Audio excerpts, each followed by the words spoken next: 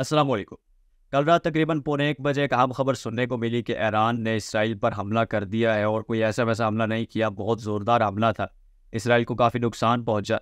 लेकिन आज हम बात करेंगे कि इसराइल पर हमला जो ईरान ने किया, क्या इसमें ईरान का अपना मफाद था या फिर ये फ़लस्तीनियों की हिमायत में किया गया? लेकिन सबसे पहले देखते हैं कि एक रिपोर्ट क्या है। ईरानी मीडिया क्या कहता है इसके बारे में और इसराइली मीडिया क्या कहता है? ईरानी मीडिया इसके बारे में कहता है कि हमने तकरीबन 300 से ज़ायद ड्रोन और मिज़ाइल डाले हैं इसराइल पर, जिसके बाद इसराइल को काफ़ी नुकसान पहुँचा है। इसराइल के फ़ौजी अड्डे तबाह किए हैं हमने और इसराइल के फ़ौजी भी मारे।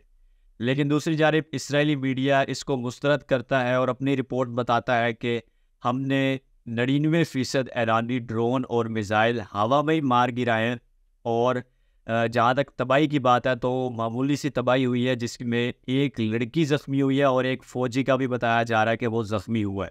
बाकी कोई मरा नहीं है, कोई और हलाकत हुई नहीं है, कोई और ज़ख्मी भी नहीं हुआ और ना ज़्यादा तबाही हुई है। लेकिन जहाँ तक एमरजेंसी की बात है तो वो इसराइल पूरे में एमरजेंसी नाफिज कर दी गई है और सायरन बचते रहे कि ईरान ने हमला कर दिया है। और यह तासर दिया जा रहा था कि ईरान हम मज़ीद हमले भी करेगा, लेकिन आज ईरान ने जो प्रेस रिलीज़ किया ईरान के तर्जुमान ने, उन्होंने बताया कि हम मज़ीद हमले नहीं करने वाले, हमने जो हमला करना था, वो कर दिया। अब बात करते हैं कि ईरान ने जो हमला किया, क्या ये ईरान का अपने मफाद में था, या फिर ईरान ने फ़लस्तीनियों की हिमायत में हमला किया? जब ईरान के ड्रोन गज़ा के ऊपर से गुज़र रहे थे तो फ़लस्तीन के ऊपर से गुज़र रहे थे तो फ़लस्तीनी बड़े खुश हो रहे थे और मस्जिद अक्सा में भी जश्न के मनाजिर नज़र आ रहे थे। लब्बैक या अल्लाह के नारे लग रहे थे और काफ़ी जो है वो खुशी मनाई गई। देखते ही लोग खुश हुए कि हमारे हक में कोई बोल पड़ा। लेकिन जहाँ तक ईरान की बात है तो ये कहना गलत नहीं होगा कि ईरान इस वक्त फ़लस्तियों का सबसे बड़ा हिमायती है। ईरान हर महाज पर फ़लस्तियों की हिमायत कर रहा है। ईरान हर महाज पर तैयार है फ़लस्तियों की हिमायत के लिए फ़लस्तियों के लिए, लड़ने के लिए। ईरान मौके की तलाश में है कि किसी न किसी तरह हम उनकी जंगी मदद भी करें। और इसी वजह से जो अमेरिका है, वो ईरान पर ये इल्ज़ाम लगाता रहता है कि ईरान ने जो है वो हमास की मदद की है ईरान ही बाकी जो दहशतगर्द तंजीमें हैं, उनकी मदद करता है, जो इसराइल पर हमले करते हैं। लेकिन ईरान इस वक्त इसराइल का सबसे बड़ा मुखालिफ है और फ़लस्तियों का सबसे बड़ा हिमायती है। लेकिन जहाँ तक बात है इन हमलों की तो ये ईरान ने अपने मफाद में हमले किए ये फ़लस्तियों की हिमायत में हमले नहीं किए। जो लोग सोच रहे हैं कि ये फ़लस्तियों की हिमायत में हमले किए गए, खुश हो रहे हैं। हाँ ये कह सकते हैं कि हम के फ़लस्तियों की हिमायत में हमले किए, लेकिन जो असल हकीकत बात है, वो यही है कि इसराइल पर जो हमला किया गया, वो जवाबी कार्रवाई थी। वो ईरान का अपना मफाद था, ईरान ने फ़लस्तियों की हिमायत में वो हमले नहीं किए। अब यहाँ पर मैं आपके सामने रिपोर्ट रखता हूँ कि इसराइल की जानब से यकम अप्रैल को शाम के दारकूमत दमिश्क में ईरान के सफारत खाने पर मिज़ाइल हमले किए गए, जिसमें आठ अफराद जाँबाक हुए थे। गैर मुल्की खबर इस एजेंसी ने बताया था कि इसराइली हमले में जाँबाक होने वालों में ईरानी पासदारान इनकलाब के अलकुत्स ब्रिगेड्स के सीनियर कमांडर रजा जाहदी भी शामिल थे। बाद ईरान ने दमिश्क में ईरानी सफारत खाने पर इसराइली हमले पर जवाबी कार्रवाई की धमकी भी दी थी। ईरान ने कहा था कि हम भरपूर कार्रवाई करेंगे और बहुत बड़ा जवाब देंगे हमें इसराइल को तचका लगेगा इसराइल को बहुत बड़ा। ईरान के जवाबी हमले के ख़तरात के तहत अमरीका ने इसराइल में मौजूद अपने शहरीों की नकलो हरकत महदूद कर दी थी। पहले भी जब हमास ने हमला किया तो अमरीका ने अपने शहरी को निकलने का फ़ौर हुक्म दे दिया था और सदर तो आ रहे थे लेकिन शहरीों को निकलने का हुक्म दे दिया था और अब भी शहरीों को हुक्म दिया है निकल निकल लेकिन सदर नहीं आ रहे इसराइल। अब यहाँ पर सिर्फ़ यही एक बात है, एक फ़र्क है। अब यहाँ पर जो बाइडन ने फ़ौर रबता किया नेतन याहू से इस हमले के बाद तो जो बाइडन ने सबसे पहले तो मजम्मत की और उसके बाद जो है वो गुस्से का भी इजहार किया कि ईरान ने हमला क्यों किया और फिर उन्होंने कहा कि ईरान के ख़िलाफ़ आप अगर कार्रवाई करते हैं नेतन याहू को साफ़ कह दिया, अगर आप ईरान के ख़िलाफ़ कार्रवाई करते हैं तो उसमें हम आपका साथ नहीं देंगे। क्योंकि वो जानते हैं, चाहे ईरान एटमी पावर नहीं है, लेकिन ईरान हमें मार गिरा सकता है, ईरान हमें तबाह कर सकता है, क्योंकि वो अफ़गानिस्तान में देख देख चुके हैं। और अफ़गानिस्तान का ही हम साया है ईरान और ईरान पे भी उनका वही हाल हो सकता है, इस वजह से वो डरे हुए हैं। अमेरिका का सदर इस वक्त डरा हुआ है, जो बाइडन, और वो कहता है कि हम नहीं इसमें नहीं शामिल होने वाले तो लिहाजा आप अपने तहत कार्रवाई करें, बाकी जहाँ तक ख्याल है कि आपका साथ हम देंगे, वो हम आपका साथ देते रहेंगे सिफारती तौर पर भी, और मैं आज जी सेवन का इजलास भी बुलाऊँगा, और हो सकता है जिस वक्त आप ये ब्लॉग सुन रहे हो तो जी सेवन का इजलास बुला लिया गया हो। जी सेवन का इजलास हो रहा हो। और उसमें वो कहते हैं कि ईरान को सिफारती रद्द अमल भी दिया जाएगा। लेकिन दूसरी जानब ईरान ने कहा कि अगर हमारे और इसराइल के दरमियान अगर कोई आता है या फिर इसराइल का कोई हिमायत देता है, इसराइल को कोई हिमायत भेजता है, फौजी हिमायत या कोई भी तो अब उसको भी मार गिराएँगे, उसको भी तबाह कर देंगे। और इस वजह से अमेरिका पीछे हट गया। और उसके बाद जहाँ तक इस्लामी दुनिया में खुशी फैली हुई है कि ईरान ने हमला कर दिया इसराइल पर, वहाँ पर एक इस्लामी मुल्क इसमें मुदाखलत भी कर रहा है कि ईरान हमले क्यों कर रहा है। ईरान के ड्रोन हमारे ऊपर से क्यों गुजरे अगर आप मैप देखें तो यहाँ पर ईरान से जो ड्रोन दावे गए मिज़ाइल दावे गए हैं, वो उर्दन के ऊपर से होते हुए इसराइल पहुँचे हैं। तो यहाँ पर उर्दन ने जो उसके ऊपर से गुजर रहे थे, जितने भी उसके रेंज में आते गए, उर्दन ने उन्हें मार गिराया। और उर्दन ने कहा कि दोबारा आपके मिज़ाइल हमारे हदूद में दाखिल नहीं होने चाहिए।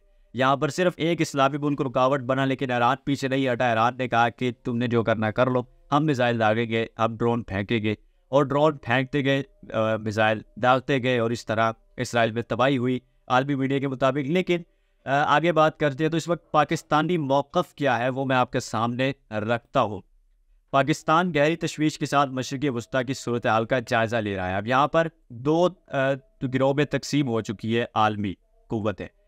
पहली, पहला गिरोह तो ये है कि जो चाहता है कि इसराइल मुकम्मल तौर पर तबाह हो जाए कि भाई इसराइल जो है वो ख़त्म हो जाए, ईरान का साथ हम दे रहे हैं, जो कि इस्लामी ममालिक हैं। और दूसरी जानब दूसरा गिरोह है, वो कहता है कि ईरान और इसराइल जो है वो मिलकर साथ बैठ कर मुआदा करे, पीस का वायदा करे, एक ट्रिटी साइन करे और उसके बाद जो दो रियासती जो हम कह सकते हैं कि नज़रिया है, फ़लस्तीन को आज़ादी दी जाए और इसराइल भी अपनी रियासत कायम रखे।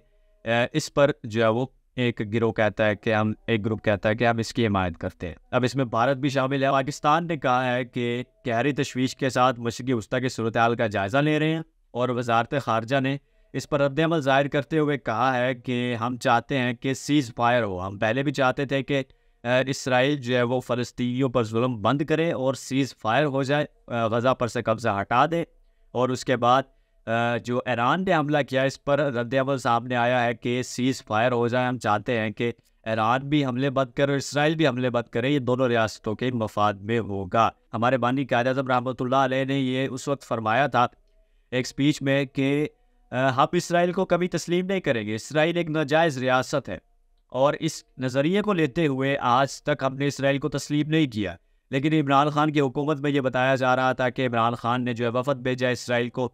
तस्लीम करने के लिए, इसराइल का दौरे के लिए वफद गया है, लेकिन ऐसी कोई बात नहीं थी और अब भी ये तासर दिया जा रहा है कि इसराइल को तस्लीम करने वाले, चाहे तस्लीम नहीं करने वाले, लेकिन इसराइल के हक में कुछ बयान आ रहे हैं। अब ये रिपोर्ट जो मैंने आपको बताई है, अगर आप सुनना चाहते हैं तो मैं आपको बता देता हूँ। तफसील से दफ्तर खारजा के तर्जुमान की जानब से जारी बयान में कहा गया है कि पाकिस्तान ने कई महीनों से बैन अवी कोशिशों की ज़रूरत पर ज़ोर दिया था।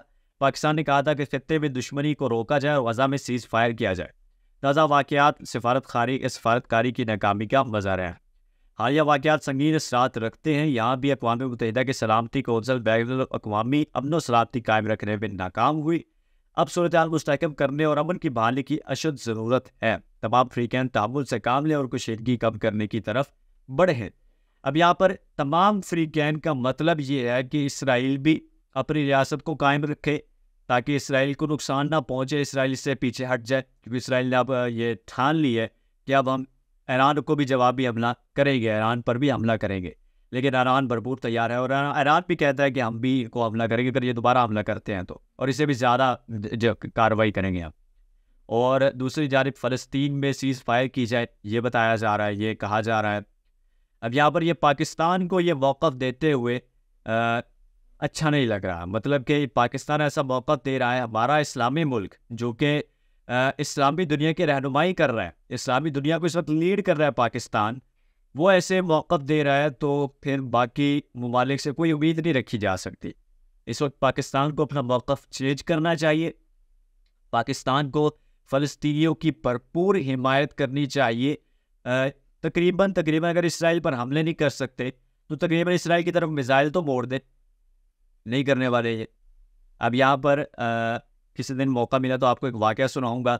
अभी मुख्तसर आपको ये बयान कर देता हूँ कि हामिद मीर एक प्रोग्राम में बता रहे थे कि उन उनसे गुफ्तु हुई डॉक्टर अब्दुल कदीर ख़ान मरहूम की। और उसमें क्या बताते हैं वो कि डॉक्टर अब्दुल कदीर ख़ान ने बताया कि मैंने मुशरफ साहब से फ़ंड मांगे कि हम जो मिज़ाइल है हम अपने इनकी रेंज बढ़ाना चाहते हैं।